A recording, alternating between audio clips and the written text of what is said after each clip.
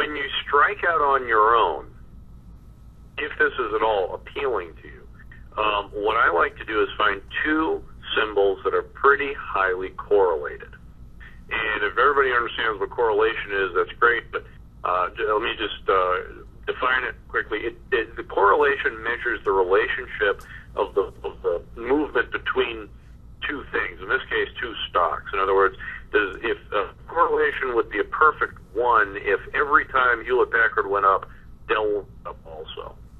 Um, let me show you, Matthew, if I can, how to calculate or how to see the correlation between two stocks. If you just type in um, HPQ on that chart, just type in Hewlett Packard. Thank you very much.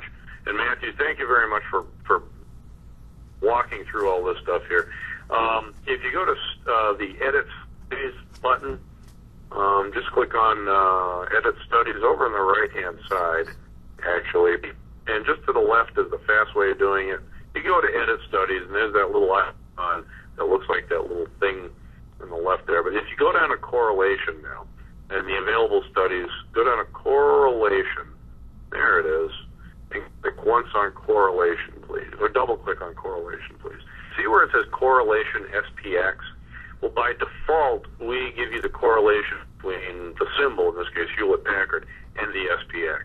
What I want you to do is go over to correlation with security down in the study properties and type in Dell, E-L, D-E-L-L. Uh, and then for a length, let's just for the sake of argument choose uh, choose 30. 30 hours is what we're going to look at. And then hit apply down at the bottom. Okay. And then okay. And the study down at the bottom there is going to be the correlation of the price movements between Dell and Hewlett Packard over the period using 30 hours worth of data. In other words, 30 hourly bars. And you can change that number of bars um, depending on, on what correlation you want to see. The I like to see correlations pretty steadily above 80% for good pairs. Um, this one dips down to zero.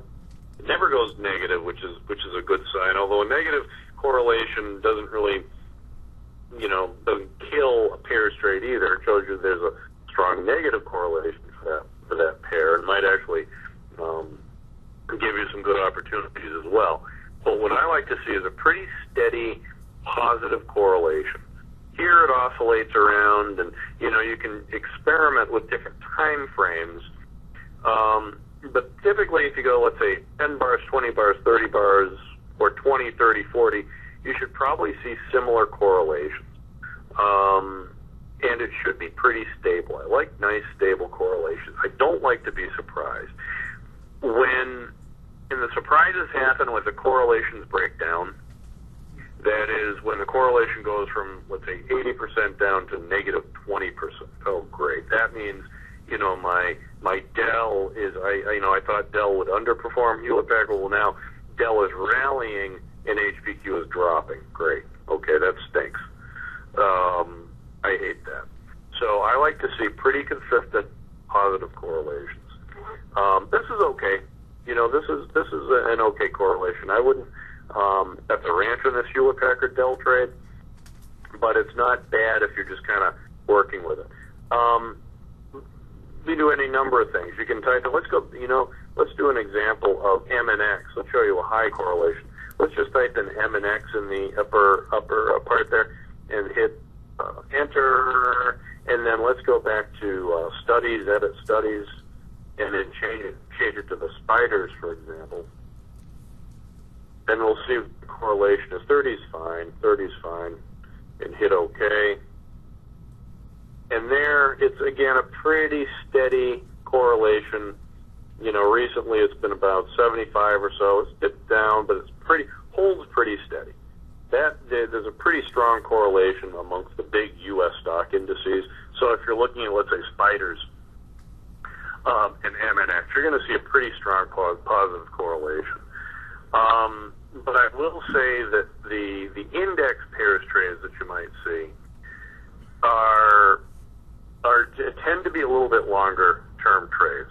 Some of the trades that I kind of let me show you an example of how I would look for a, a pairs trade in the energy sector.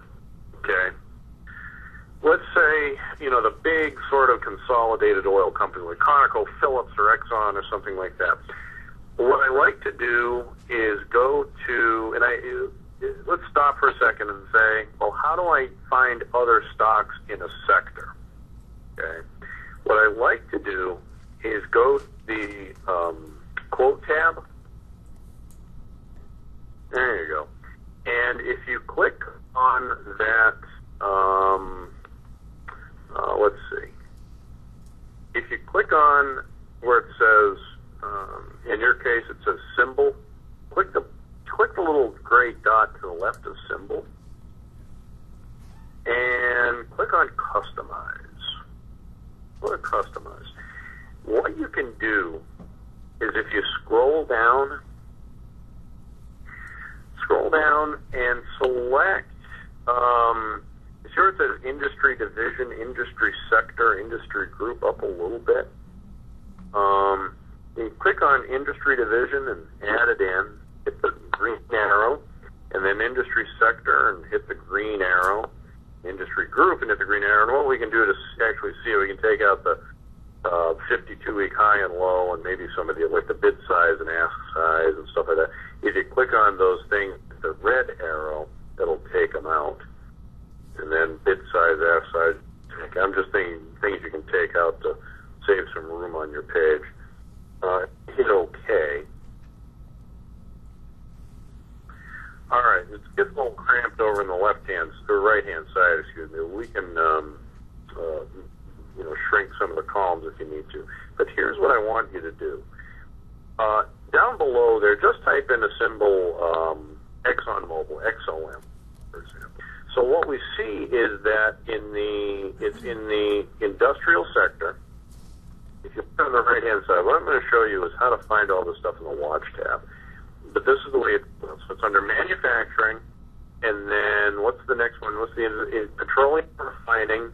And then what's the industry group? It's under petroleum refining. So go to the watch tab. And the watch tab is that funny little uh, green icon up in the upper right hand corner, right there. Okay? And so how do we find stocks the same industry sector as ExxonMobil? Let's go to the index watch section, index watch, and then we go to uh, select watch list to the right, just right there. Perfect. And then go to industry. Go down to industry. Perfect. And then go to manufacturing. And then in the sub menu, you go to um, where's petroleum refining and related industries, right there. And then petroleum refining, right below there. And hit enter. And there we have about 41 stocks realistically, it's a lot less than that. But it's a bunch of stocks in that sector. So we have, for example, we have uh, BP, British Petroleum. We have COP, ConocoPhillips. We have CVX, which is Chevron. We have um, XOM, and there's number 40. We have um, WNR. We have Sun, uh, Sunoco. We have a bunch of different stocks that we can look at in that sector okay, that probably have decent correlations. In other words, let's put it this way. When ExxonMobil makes money, chances are Sunoco and Chevron are also making money, or ConocoPhillips is also going to make money. You know, everybody's making money off of $4 gasoline except, the, except me. Okay?